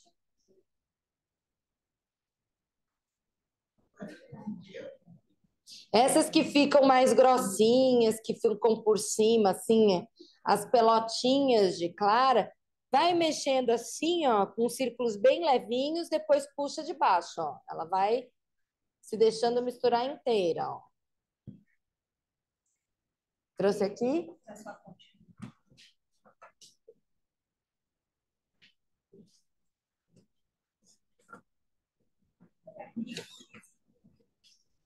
Ah, eu já ia procurar, porque eu não vi ela, não. Você está na gaveta?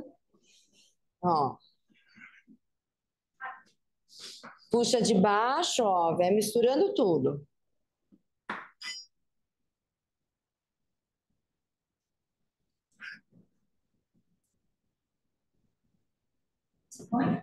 Põe. Tem, ah, tem os patinhos.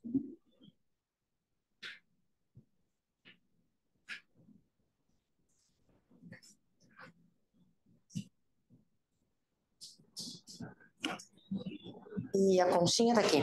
Ó. E aí vai encher o ramecan, vai até a bordinha.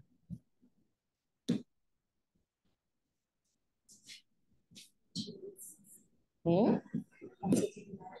Tá.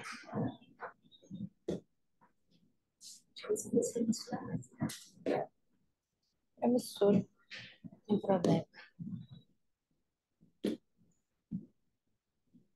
cool.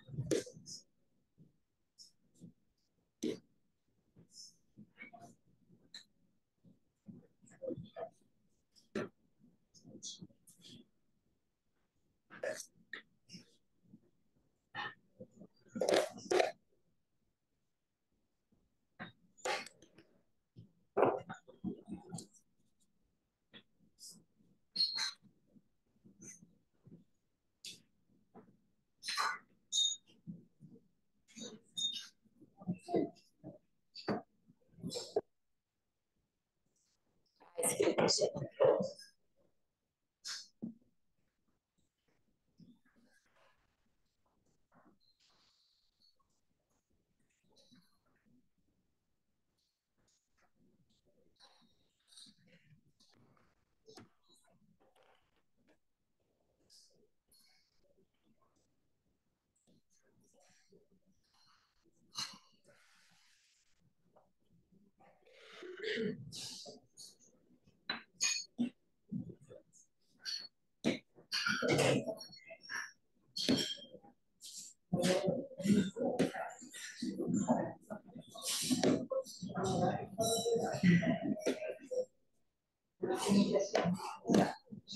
Tem quantos?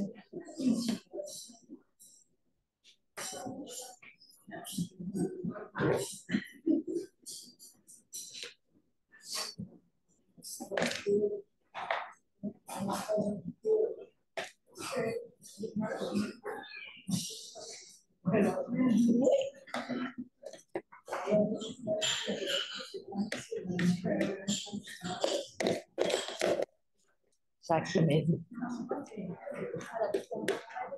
Ai, sabia que ia ficar um.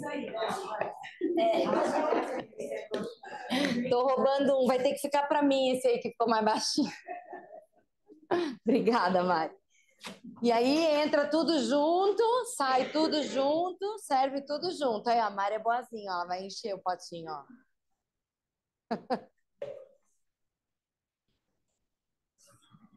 Fica na frente, não, vai sair. Ah, dá.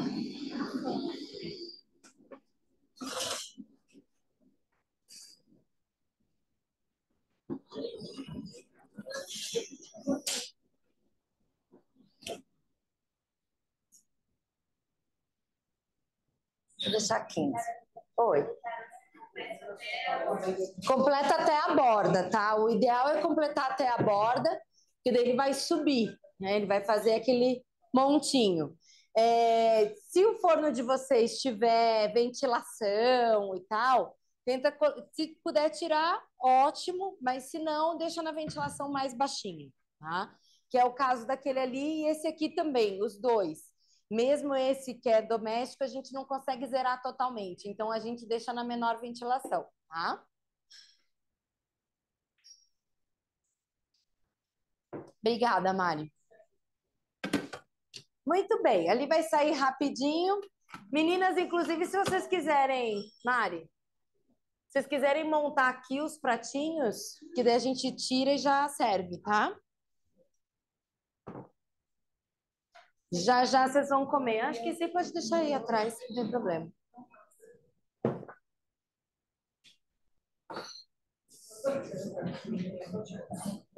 Vocês vão começar pelos sufleus. Depois eu vou cortar o pão, tá? É só para ficar dando mais vontade em vocês.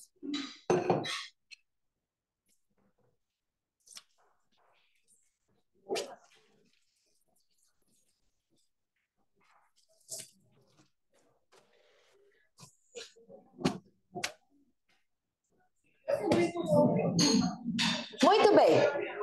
Torta de chocolate. Agora a gente volta para a página 4. Vamos fazer a receita do meio da nossa apostila.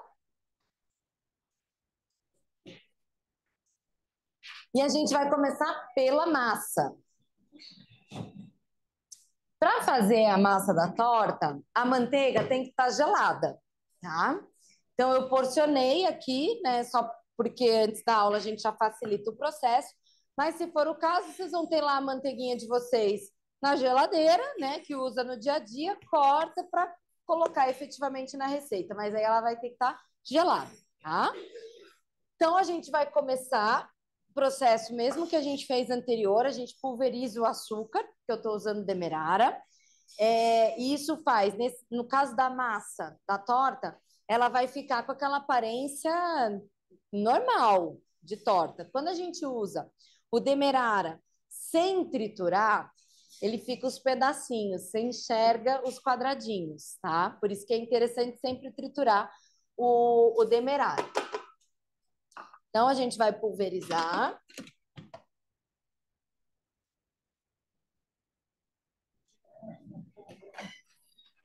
Se você já tiver ele né, pulverizado, já deixou no potinho pulverizado, aí é só usar, tá?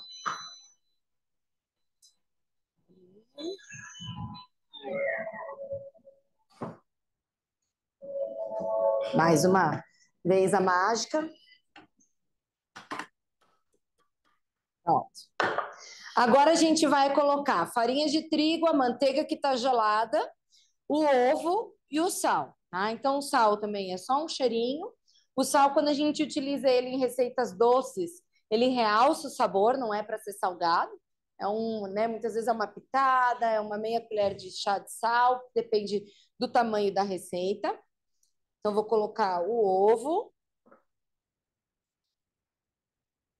a manteiga, que está gelada, e a farinha. E aí, a gente vai misturar 20 segundos. Na velocidade 5.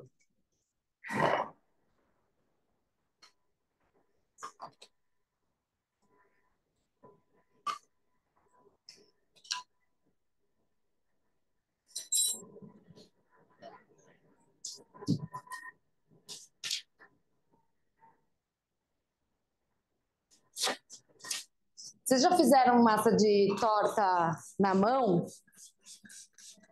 Você tem que colocar né, a, a farinha, aí você faz, a, abre assim um montinho, você coloca a manteiga e você vai só com a pontinha dos dedos para não aquecer né, essa massa. Coisa do passado. Não precisa. E vocês viram que foi 20 longos segundos. É quase igual picar salsinha, né? Longos dois segundos. Então, foi só isso, ó. Massinha tá pronta. Mesmo esquema, vira. Ó, até caiu. Pronto. Se ela ficar grudadinha, né? Vira lá a base da lâmina.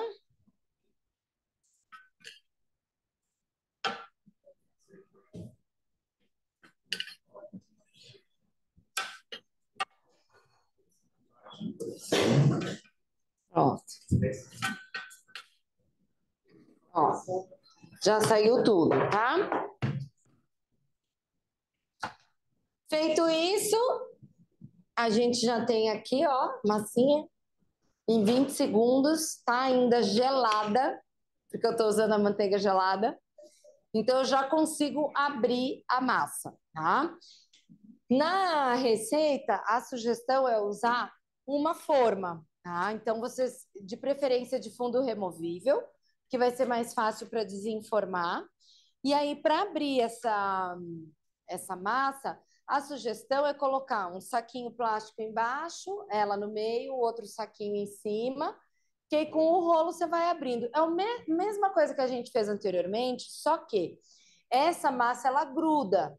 E a gente não quer colocar farinha, porque se eu for ficar colocando farinha, daí eu vou perder o ponto de crocância, da, do amanteigado que ela tem como resultado final depois, tá? Então, por isso é importante dois plásticos, ou para quem tem aqueles tapetinhos de silicone que se usa também em culinária, pode ser o tapetinho de silicone.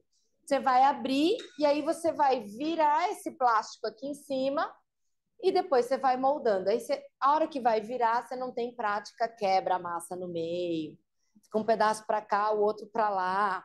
Não se assustem, porque ela é absolutamente moldável, é uma massinha de modelar.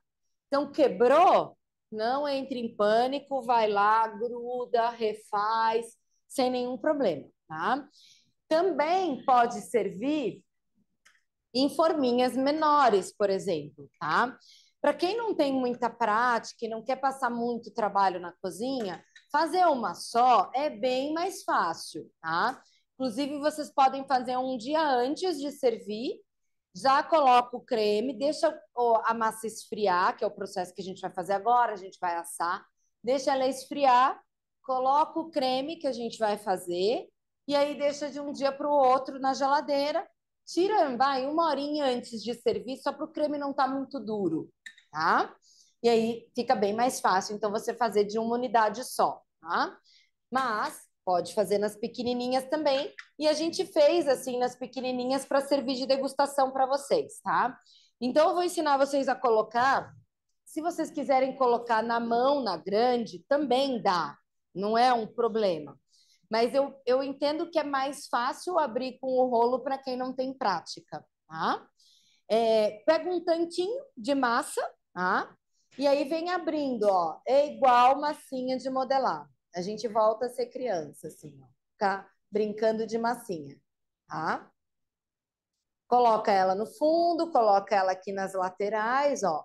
E aí você vem apertando, porque tá vendo que a lateral da forma, ela tem um ângulo. Que, que muitas vezes acontece? Você vai compra na confeitaria lá uma tortinha, e aí você come e diz assim, ai, mas é só massa. Por quê? Porque muitas vezes não fizeram o ângulo da massa. Só porque, por exemplo, assim, ó, se eu colocar só desse jeito aqui, do jeito que tá, o que, que vai acontecer? Ó, você vai mais pertinho para todo mundo ver em casa. O que, que vai acontecer? A hora que ela vai para o forno, tem manteiga, ela vai ainda gelar, ela só entra no forno gelada, tá? Então ela tá mais firme. Mas, inevitavelmente, o calor vai fazer ela dar aquela ah, e nesse vir para o meio, eu já tenho um, um monte de massa. Então, ela vai puxando e fica toda acumulada. Quando você vai ver, não tem recheio, só tem massa, tá? Então, para eu formar o ângulo, a gente coloca no fundo e aí vem com o dedo, ó, empurrando aqui para a lateral, para não deixar essa massa com um monte de massa na lateral, ó. Ah, aqui faltou um pedacinho, ó. Eu achatei, achatei demais. Pega aqui do que está sobrando, coloca aqui, preenche essa partezinha que eu achatei em excesso. E agora eu vou tirar o, o excesso de massa por cima, ó. Tira raspando, ó, que daí você raspa na forminha e ela vai ficando reta.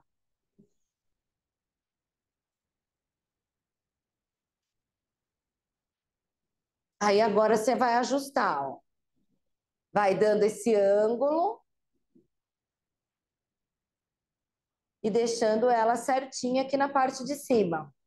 Parece difícil para quem nunca fez. A impressão é assim: ah, eu nunca vou conseguir fazer isso na minha vida. Mas o mais incrível é que a primeira vez que você faz, você diz assim: ah, eu consegui fazer isso. Então, assim, você dá aquela olhadinha, vê se tem alguma parte que está precisando né, um pouquinho mais de massa. Deu aquela, ó. Quando você faz assim por cima, ela vai ficar toda certinha, ó. Ah, aqui eu achatei muito, então bota de volta. E aí a massinha fica certa.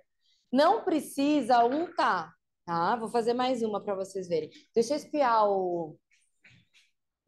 Ai, que lindos! Você cuida aí, hein? Helena do céu, você fica de olho nesse soufflé. Que eu me arrisco, eu me arrisco igual a Iva lá no Masterchef, né? A pessoa fazer soufflé na aula. Ah, mas você arrisca, né? Ó, de novo. Então, coloca um tanto de massinha. vai preenchendo as laterais. Ó, começou a sobrar massa, não tem problema. Vou apertar aqui no meio, que tava um bolão. Agora eu já vou tirar isso aqui que tá demais. Agora vai, vai, vai fazendo o ângulo, ó. Vai achar aqui o cantinho e vai fazendo o ângulo. E é essa partezinha aqui de lateral que as pessoas esquecem de fazer. Aí fica aquela lateral super gorda, que não só tem massa, tem nada de recheio. Vou tirar o excesso.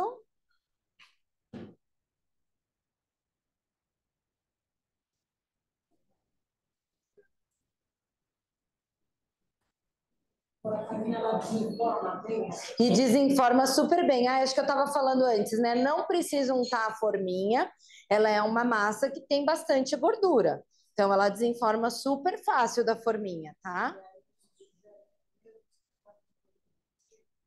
Sim, primeiro vocês vão desinformar, tá? Ó, mais uma.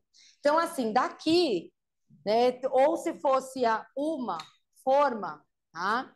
Preencheu. Ou preencheu todas as forminhas, dá 12 forminhas dessa que é de 5 centímetros, tá? Essa é a forminha de 5, tá? Não é a... Eu acho que na apostila tá de 7, né? As meninas estavam me falando à tarde. Essa aqui são 12 da, da de 5 centímetros, tá? É... Seis forminhas de 7 centímetros, né? Tá. Essa daqui é a de 5, então deu 12 forminhas ou a grande. Fez isso, preencheu a, a, a forma que escolheu, tá? Leva para a geladeira, pelo menos uns 15 minutinhos. Como ela tá massa fininha, ela em 15 minutinhos ela tá dura. Aí você vai vir com um garfinho, fura, pode furar antes, mas é melhor furar depois, que aí vai ficar o buraquinho efetivamente, porque aqui a massa tá mole, tá? Faz os furinhos e leva para o forno. O forno já tem que estar tá pré-aquecido, 180 graus uma média de 12 minutos, 15 minutos. Você percebe que ela fica douradinha e aí ela tá com aparência de cozida. Tem uma massinha? Ah, que coisas lindas! Tá, não tem problema. Deixa eu saber aqui. Ó, que as meninas já estão montando a degustação de vocês, tá? Ó. Então é a mesma que a gente deixou então 15 minutos no, na geladeira furou, colocou no forno. Esse aqui deu 15 minutos. E aí ela fica assim, ó, douradinha, tá? E olha como ela é firme, que a gente consegue pegar na mão, tá? Ó, pro pessoal de casa. Aí, sugestão da torta. Vocês podem deixar, então, pronta de véspera, montada 100%, daí fecha com o filme, coloca frutas no dia seguinte, na hora que vai servir frutas, raspas de chocolate, enfim, daí vocês podem decorar do jeitinho que vocês quiserem, mas já pode estar com chocolate. Ou faz a massa, não importa se é na, na individual ou na. Deixa eu espiar primeiro. Eu ia lavar a mão. Peraí, gente.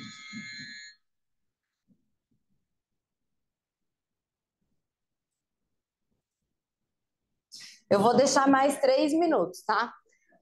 É, não importa se é na individual ou nas forminhas, é na grande ou nas forminhas pequenas, vocês podem fazer a massa de um dia antes, embala essa massa para ela não ficar pegando umidade, e aí você coloca o recheio no dia seguinte. Qual que é a diferença? Que quando você recheia e serve, você tem mais crocância na massa. Se o recheio ficar do dia anterior para o dia seguinte, vai umedecer. Então você já tem uma massa mais macia, tá? que é o que normalmente a gente encontra nas confeitarias. Quando você vai na confeitaria, a, a tortinha já está pronta, né? Até dá para selar essa base da tortinha com chocolate para evitar molhar muito, mas de forma geral molha, né? Ela acaba umedecendo. Então essa umidade a gente diminui quando a gente monta na hora. Então, se for possível, se quiser uma tortinha mais crocante, deixa o recheio pronto, deixa a massinha pronta e monta na hora de servir, tá? Vamos já espalhar pelo menos alguns aqui. Eu já vou fazer o recheio, tá? Enquanto vocês vão comendo o. Tem guardanapins? Enquanto vocês vão comendo o soufflé, eu faço o recheio. Pode botar aberto, Mário, para ele colocar em cima. Tá quase! Tá tão lindo! Eu vou tirar uma foto. Depois as meninas mandam pelo WhatsApp da recepção para vocês. Sempre o pessoal de casa ver.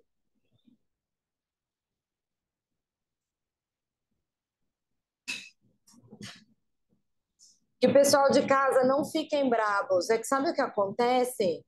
A câmera ela tá fixa. Olha, eu fiz um vídeo para mostrar para quem está em casa não ficar bravo comigo. Ó. Nada como ter tecnologia nos tempos atuais, né, minha gente? Olha isso, a gente passa o vídeo pelo vídeo. Ainda bem que as crianças já crescem entendendo tudo isso, né? Ainda bem. Olha, gente, como eles estão bonitos. Ah, até parou o vídeo. Gente, dá para vocês verem? Podia passar lá, né, agora também. Olha, olha que.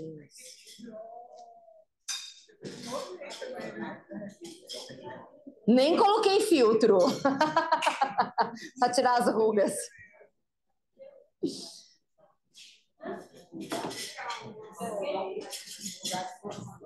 Peraí.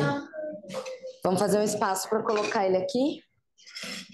Colocar aqui no meio. Aí a gente sai com esses primeiro.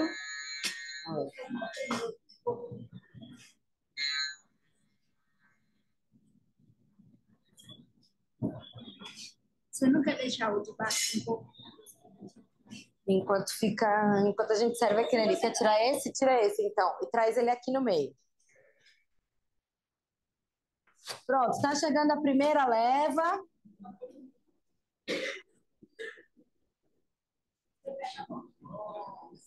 Vem.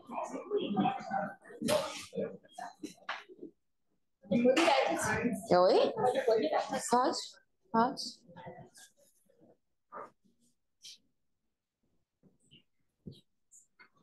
Não esqueçam que está quente, nós não queremos que vocês queimem a língua. Assoprem. Helena não vai se queimar, por favor.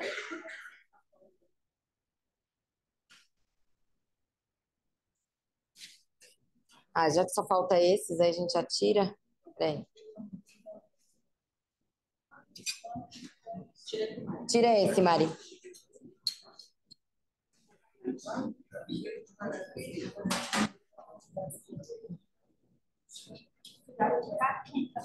Tá. O guardanapinho de baixo é só para segurar o pratinho, tá? A gente dá guardanapo a mais para vocês. Helena do céu, você assopra e não vai queimar a boca.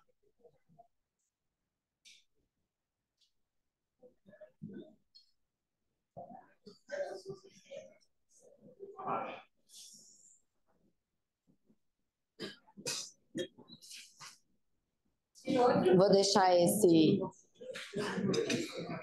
Pode, Mara. Já dourou? Não, não tem problema. Eu coloquei no dois. Mas tá bom, né? Tá, tá bom. Ui!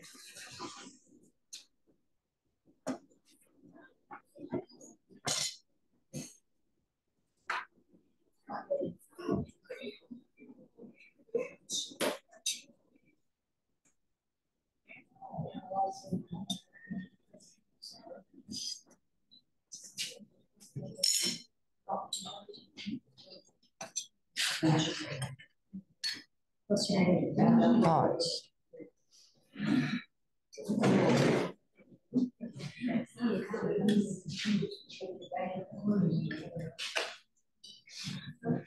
E acho que tem que passar com mais guardanapos aí, meninas.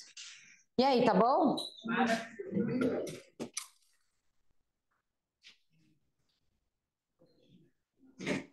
Ah, me dá um, que eu tenho que mostrar em casa. Esqueci. Aqui. Aqui. Aqui, tá aqui, tá aqui, tá aqui. Ó.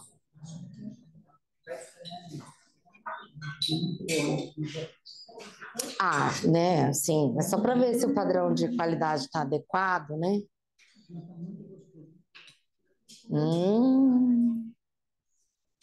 Peraí, aqui.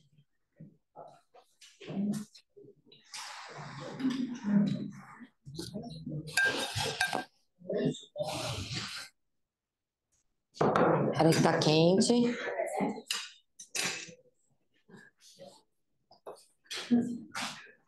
Hum, ah, é que nem uma nuvenzinha, né? Gostoso. Muito bom.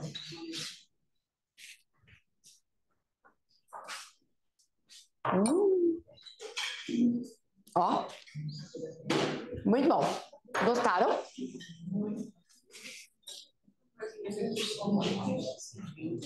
Nunca mais o quê? Você nunca tinha vindo no presencial? Ah, bem-vinda! Não faça online, vem aqui. A gente entende que tem pessoas que não conseguem vir, por isso que acabam assistindo no online, mas é tão gostoso presencial. Porque aí a gente conversa assim, né, pessoalmente, degusta, sente o cheirinho da comida, tudo isso. É muito bom. Hoje à tarde veio uma aluna que é de Campinas, foi a primeira vez também que ela veio. Ela acabou vindo para São Paulo e aproveitou para assistir o curso do presencial, que ela sempre assiste no online. Bom, vou deixar aqui porque as forminhas, então, a gente já tem. O processo foi exatamente esse, tá? A gente montou nas pequenas, a gente levou na geladeira 15 minutos, fez os furinhos, 12 minutos de forno, tá? Então, lembrando, se vocês quiserem, pode fazer a massinha um dia antes ou montar inteira, ou pelo menos é... faz as duas coisas e monta na hora se quiser um resultado da massa, da massa mais crocante. Tá? Dá, dá para congelar. O que acontece é que assim, ela vai soltar água. Vai soltar água, porque quando a gente faz o processo de congelamento, a gente acaba fazendo produção dos cristais de água. Então, assim, dá, dá. O resultado não é dos melhores, assim, sabe? É, vai, vai perder, assim, sabe, a qualidade e tal. Muito bem. Recheio de torta. As meninas já vão servir a degustação agora próxima para vocês, que é a tortinha com o pão. Cortaram o pão, meninas? Deixa eu mostrar um pedaço do pão. Tem? Ah, nem cortou ainda? Ah, achei que já estava todo em pedacinhos.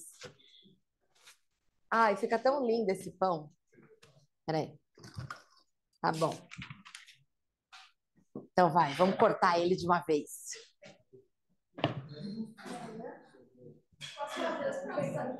Pode? A gente monta aqui? Pode?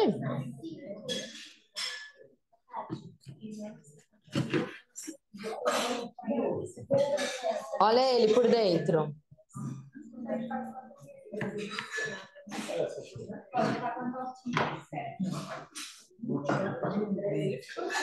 Olha que lindo.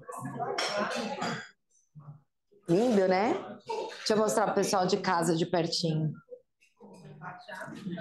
Vocês já querem esse pedaço especificamente, né? Não me venha com uma degustação mínima, né? A gente quer esse pedaço inteiro, ó. Olha que. Ah, olha a outra parte como ele fica, ó. Ele fica todo lindo. Todo, todo. Aí a tortinha que as meninas já montaram.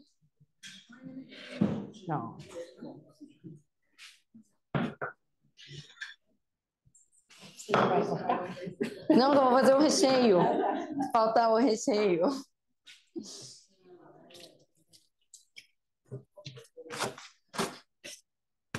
Então, enquanto as meninas montam ali, nós vamos chegar naquele recheio da tortinha. Então, para todo mundo se sintonizar depois da, do momento de degustação soufflé, página 4, torta de chocolate. Agora nós estamos. Passo número 7. Né? É, que a gente vai aquecer o creme de leite, a manteiga. Por que, que usa a manteiga, tá? Se eu fizer só o chocolate e o creme de leite, eu estou usando o creme de leite fresco, a gente vai ter uma ganache, tá? Então, não, não é um problema. Ah, mas eu não quero um recheio tão macio, tão molinho. Posso só fazer uma ganache? Pode. A diferença é que a ganache ela fica mais firme. E com a manteiga fica mais fluido, tá? Mas pode, não tem problema nenhum. É só tirar a manteiga e utilizar só o creme de leite e o chocolate, que a gente está usando em partes iguais, tá? Então, dois minutinhos. Não, quatro minutinhos que é para aquecer. 90. Velocidade 1. Ah, então assim, para esse creme, são 200 gramas de creme de leite fresco, 40 de manteiga, 200 de chocolate. A gente está usando meio amargo, é o mesmo que eu usei antes, o 54% da Calibu, tá? É, se não quiser usar manteiga, usa só a creme de leite e o chocolate, que ele vai ficar mais firme, tá? Vocês vão perceber quando vocês provarem o creme que ele é mais macio na boca. Essa é uma característica porque a gente colocou a manteiga junto e então ele fica mais macio, tá?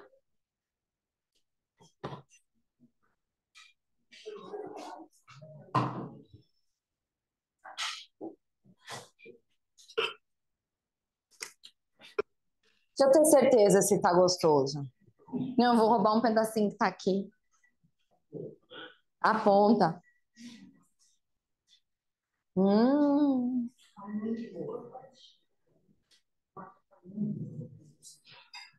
Helena, gostou? Bom, né? Com canela. Com canela. Maçã com canela. Você não tem ideia de como isso fica bom. Não é só com canela e açúcar? Um cinnamon roll. Uhum, gigante. Uma ótima.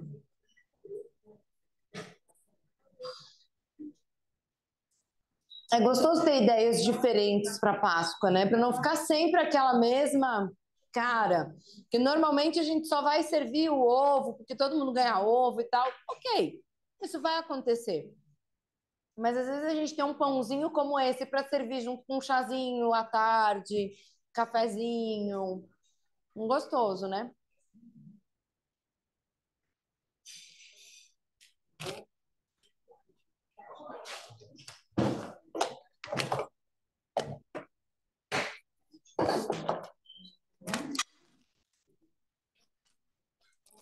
E a tortinha, gostaram? Gostou, Ivan? Gostou? Bom. Bom, quando o nosso creminho ficar pronto, tá bom, não tem problema.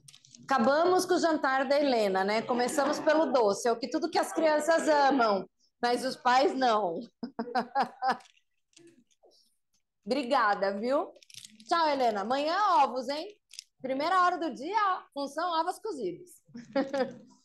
é, quando a gente terminar de fazer esse creminho, eu posso colocar ele num, num recipiente normal, tá? Eu gosto de usar o saco de confeitar, porque eu já tenho habilidade, gosto, eu acho mais prático, ele já fica fechado. Se eu tiver que guardar na geladeira, não preciso me preocupar com o filme e tal. Mas não é obrigatório, tá? Pode colocar simplesmente num bowl e cobre com o filme para esperar a massinha esfriar e já montar, ou para montar no dia seguinte, tá? Se eu for montar no dia seguinte, vai ser natural esse creme ficar firme. Eu tenho a gordura do chocolate, a gordura do creme de leite mais da manteiga. Então, no dia seguinte, ele vai estar tá firme. O que, que vocês fazem? Tira um pouquinho antes de usar, deixa ele aclimatar, mexe com uma colher, que daí ele já vai ficar mais macio para já poder colocar na torta. E com uma colher vai espalhar. Se você esperar, por exemplo, a gente está fazendo aqui, eu espero mais ou menos uma meia hora, 40 minutos para montar a torta, ele está ainda bem fluido. Então você não faz força nenhuma, você vira e ele já montou a torta. Então, se você deixar esfriar de um dia para o outro, que ele vai estar tá firme, aí vai precisar mexer com a colher um pouquinho, né, para ele voltar a ficar cremoso de novo. E aí você vai com a própria colher colocando dentro da massa, tá? Então, aqui eu só esquentei, vou colocar o chocolate. E agora eu vou misturar. Menina, Ana, fecha um pouquinho aí, por favor. Tá o barulho da, da louça. Então, aqui agora a gente vai só misturar. Ah, não, aqui eu tenho que aquecer o chocolate, desculpa. Tô pulando uma etapa. Dois minutinhos. Se... Eita. 60. Lembrando que a gente nunca passa. Temperatura máxima para trabalhar com chocolate é 60. Tá? Se a gente for para fazer só o derretimento dele sozinho, 50 graus. Como aqui eu tenho creme de leite, eu tenho a manteiga, então ele não vai queimar. Mas se eu, por exemplo, aqui colocasse a 90 graus, ele ia queimar. Aí, aí queima a base do copo, fica difícil de lavar e fica com um sabor que não é o sabor que a gente está realmente buscando, tá? Meninas, eu preciso de um prato com tortinha. Tem ainda? Nem me ouviram? Para mostrar em casa. Uma tortinha e o, o pão eu até mostrei, mas tem que mostrar a tortinha. Então, caso vocês forem usar o saco, vocês podem ter um amigo do lado para poder ajudar. Obrigada, Mari. Tá. Se vocês não têm um apoio, um suporte para o saco, você pode pedir para o amigo segurar né? Faz aquela pose, amigo, segura que eu vou colocar o líquido aqui dentro. Não tenho nem o amigo, coloca numa jarra, num copo grande, numa leiteira, enfim, né? Em alguma coisa. Mas se tiver um suporte, facilita. Eu até achava que nem tinha aqui na Thermomix, depois as meninas me relembraram que tinha. Então, a gente vai usar o suporte, só para facilitar, tá? Que também, como a gente está usando as formas pequenininhas, para é, colocar o creme na forma menor, é mais fácil que esteja no saco de confeitar, mas não é obrigatório. Tá? Se tiver na colher, vai na colher, tá? Aí depois no finalzinho a gente só mistura para isso ficar bem misturadinho. Dá até para já aumentar um pouquinho a velocidade que ele já vai misturar. Pronto. Chocolate derretido mistura fácil.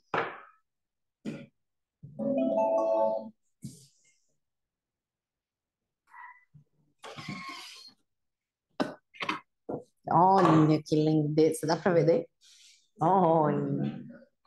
Ai, que delícia. Olha. Então, esse é o creminho da tortinha que vocês já degustaram, tá? Pessoal de casa, eu já vou mostrar a tortinha de pertinho. Oi? Não, ninguém degustou, gente? Ah, aconteceu um problema. Vamos começar tudo de novo. Deu ruim, se perdeu no caminho essas tortinhas. Não chegou até mim. Ah, então é só porque eu gosto para a gente trabalhar com as tortinhas menores é mais fácil, mas poderia colocar num bowl e depois trabalhar com a colher, não tem problema nenhum. Ó, tá vendo que ela fica bem molinha? Ah, então se deixar esfriar, ele vai ficar mais firme, tá? Que aí fica no ponto que vocês é, degustaram. Vou deixar aqui para ela não explodir. Na aula anterior, eu já tinha um pronto de manhã, então ele já estava mais firme.